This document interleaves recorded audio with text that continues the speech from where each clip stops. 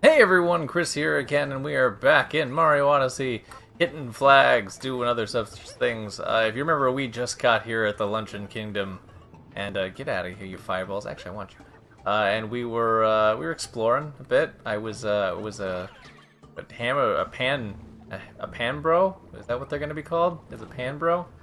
Um, that was easy. Um, was a pan bro, and I cut through some cheese with my mighty my mighty hot pan. I guess that is some way of saving the day in this game. I don't I don't I don't really follow Mario logic anymore at this point. It's all out the window. Look at me, I'm a fireball. Yeah, this makes sense. My my secret body stealing hat that I I don't consider evil in any way because it's on my side. Get out of here, you hot is. Let's uh, do a flip. A flip. Out of here, you hot tomatoes. Okay. Yeah, I want to try and see if we can. Yeah! I'm the best! That was awesome! Sweet flips and stuff. That's right. You ain't gonna see any of that here unless you're playing. Unless I'm playing Tony Hawk Pro Skater 2. Like, my, one of the, best ones, in my opinion. Oh, man. Okay, well. Gonna have to ditch this body. Hey, Sleep it off, okay, buddy? I need you up at the office tomorrow. Please make it! Okay. Sweet, sweet apple... Tomatoes? Tomatoes. Not apples. Sweet fruit of some sort. And yes, that's right. Still calling the tomato fruit, as it should be. Come at me. Weird not tomato fruit believers. Let's, start an argument in the comment section. Let's do this. Ah! Ah! Don't like these tomatoes. They ruin my day. Come here, buddy. Come here. Daddy just wants to play. Can I hop from here to here? I can. Okay. See? I'm getting the hang of this. Nothing weird about this. Hey, look, and I found the hidden one. That was easy. Crossing to the magma. Good job, Mario. Got this crap on lockdown. You are just the best, except for when you do that. Ah! I have gotten better, like uh, like I was saying, I think a couple episodes ago. Um, I went back and I did a bunch of the other uh, moon medals and kind of got everything up to par. I was getting kind of bothered by the fact that we uh, weren't getting every single moon medal out there. I really wanted to fix that. Um, gotten a lot better at doing like kind of trick jumps and stuff like that just for shenanigan purposes. I think it's kind of fun to do. I like being able to like do the jump, flip off my hat, do another another flip onto my hat again, and just keep the brain going. Pretty fun to do. Ah, please make it. Oh, we can make it. Okay. Been a pretty sweet ride. I I have to say this is probably uh, it's up there. It's really competing to be one of my my favorite uh 3D Mario games of all time. It's definitely uh, Nintendo's been very good this year about like breaking conventions, if that makes sense. Like breaking but fixing conventions.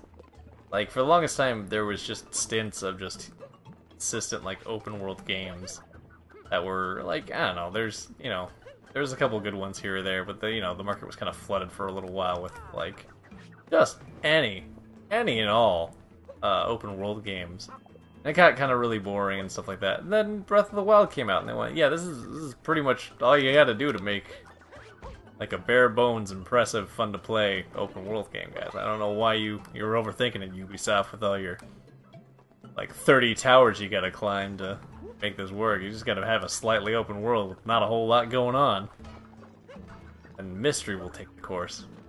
Not to worry about it. Uh, I, I kid. There was I don't know. There was a lot of cool things about uh, Breath of the Wild that you know they did a lot of uh, teaching through the shrines and stuff like that. That I thought was really cool. And you know, like typically, uh, and I'm gonna use like I think Far Cry 3 was like one of the last like major open world ones I played. Um, I use that one as an example. Um, like every tower was pretty much the same as far as like difficulty too. Okay, this is fine now. I don't know what I'm doing with it, but I got it. Um, but it was like, you know, climb tower, that's it. There wasn't a whole lot to it outside of like, um, get out of here. Um, like interesting techniques because like it wasn't really a platforming. obviously it was a shooter, and yeah, you had like squirrel suits and other such things, but it wasn't. It was nowhere near like as platforming centric as those towers wanted you to pretend like the game was. Um, but like Breath of Wild, obviously it's a third-person camera. It's much much more meant for climbing and exploring and stuff like that. And uh, I think that's one thing that really helped out the uh, game. Whole, what am I doing with this? I'm going to drop this in a second, just out of spite. I don't know what I'm doing with this. Uh, you know what? There's a circular area over here. Guess where this is going? Right in there. Don't know if that's right, but that's where it's going now. Probably wrong. Probably just pissed off a lot of people. Okay. Um, but Zelda, like all the the towers, like some of the beginning ones were pretty, you know, generic. They just you know climb up normally, and they're more tests of like, do you got enough endurance to get up here? Um, but the later ones, like, were ones built around towers with enemies around it. There was like the castle one where you had to know to blow up part of the uh, the wall to get it to fall down so that you could actually get across, and it was just you know, everyone had like some puzzle element to it after a certain point. Like some of the beginning ones weren't that elaborate. I won't give them that much credit, but there was just God, what's going on? Oh my god, I'm delicious meat. I'm gonna salt myself. Yeah. Oh yeah, give me that sweet, sweet salt. Salt, salt my, oh, salt me. Oh, that's right. Um, now this got weird. Uh, but uh, you know, and that wasn't something that a lot of the open world games did. They were like, just keep going to this tower, it'll open up more of the map, and uh, there's 30 of them, good luck. There was nothing really interesting about them. Like, you got there, and like, sometimes it was games that were like, yeah, it's a stronghold, you gotta take down enemies to get there, and that was, that was kind of cool. But, oh, thank you. Um, Breath of the Wild was very good about, you know, making everything, every huge landmark was an actual challenge and trial to get through. Although I do think it really suffered in the uh, when it came to like the major dungeons because I mean there was like the the beasts were fine, but I, I honestly weren't wasn't a big fan of you know the lack of like they they were just quick to get through. There wasn't a whole lot to them. There was some puzzles here or there, but for the most part it was just like find five little you know terminals and we'll automatically just let you fight the boss. There wasn't a whole lot of like oh, I got the key. Oh my god, I got the big boss key. I can go finally fight him. And that sort of like build up to it was just, yeah, I got all five. Cool. Let's let's go fight this random random monster that you know. There was a lot of uh, there was a lot of missing. Um, uh, what's what I'm looking for? Imagination to the situation, because because all the monsters were the same style of like a variation of Ganon as far as like uh, looks are concerned. Like you know, you think of like Ocarina of Time, they had like uh, Gamora the spider person, or is it Gamora? God, I can't remember. Uh, yeah, the Spider Person. You had like the Phantom Ganon. You had the the Witch Sisters. You had the Dragon, and like yeah, they were not the most intricate to beat bosses, but they were still like really interesting when you first got to them, and it was something that made the uh, the experience really cool. But all the bosses like looked the same in that sense, and it was. I mean, again, they had variation to them. Like one of them was flying, one of them was water based and stuff like that. But it just, you know, the, aesthetically they didn't look as pleasing as like I would have liked them to be. But that's just me. Don't worry about it, guys. I get on these teams. If you watch my stuff. What, what's going on? What are we doing? We climbing that again? Boy, I hope not. I do want this guy dead, because he's throwing flames at me. He actually spits hot fire. Get out of here. That's right. Oh, you, you, what do you mean you hit me? You, you know, just for that, I'm gonna drop you in the lava. I'm gonna make you wish you'd never been born. Okay, well, there's nothing. Can't can't melt cheese apparently. That's just take him across. Please light up this crap. Yeah, that's what I thought. Give me that moon. Give me that sweet moon. Light the two flames. You know, this one, I don't know. This one's, I'm, I like that there's so much exploring to this one because obviously that was the whole theme. It's the Odyssey theme. They've been beating me over the head with that, like since the E3 thing of like it's all about exploring new lands and exploring. And did you did I did I forget to mention you're going to be exploring in this game? Um, you know it's it kind of takes away a little bit when like you easily get some of these. Like some of these are like kind of throwaway moons, in my opinion. I do like it because it's like it's it's it's neat to find like a secret, like like you know out in the wilderness, you like you did something clever, and all of a sudden like a moon appears. Like oh my god, they totally thought about doing this. This is awesome. But um, but I don't I don't know.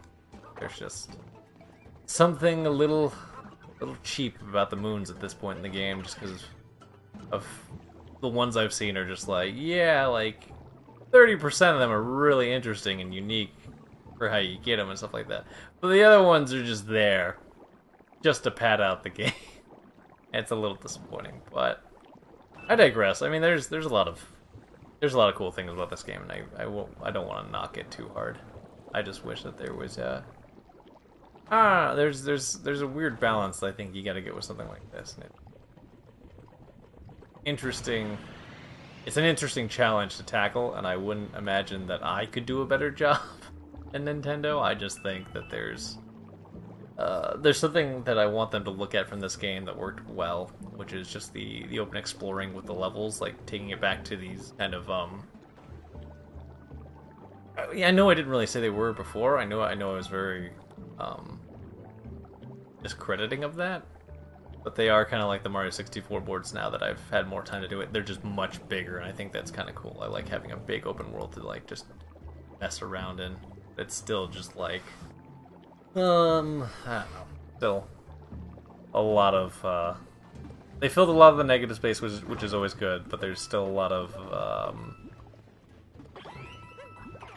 like they didn't fill the negative space with just every creative thing they could, and I I know that's an impossible task to do. I just you know, when you've gotten so many, it gets a little like tedious and just like, okay, I got th- this is what's gonna make up like a thousand of these things. It's just me randomly lighting torches and grabbing stuff.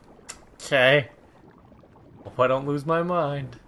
But either way, again, I, I really like this one. This one's up there for one of my favorites. Although I don't know, I like Sunshine a lot, and that one was pretty cool. Although that comes with the territory of having a gimmick that becomes the whole game and then, you know, slowly dying because there's nothing else to the game other than, oh yeah, you got a water pack.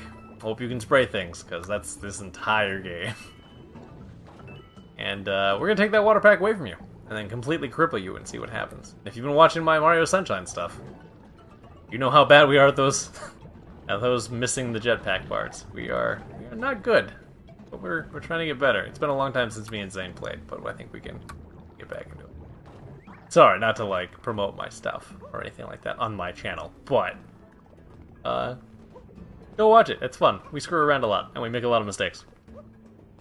But uh, the main point was, uh, no game is completely flawless.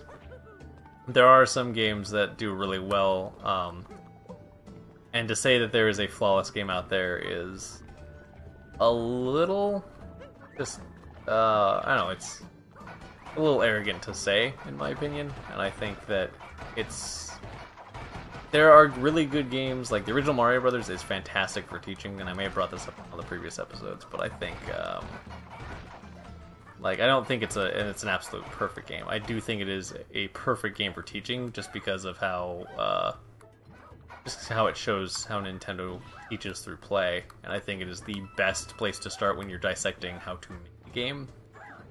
Um,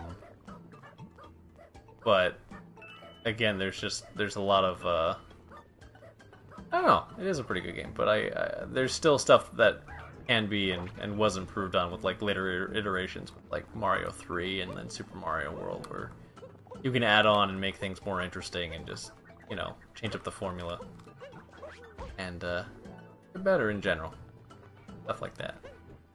But um, so I think I think I've rambled long enough, and I definitely think I'm lost. So I think I'll end it here. Thanks for watching, guys. I appreciate it. We'll be back with uh, more Mario Odyssey, and I will be sure to get back on track before we uh, we start the next episode. Oh, oh, it's in the stew. Okay, I guess we're going back up to the stew again, or something like that. Either way, thanks for watching, guys.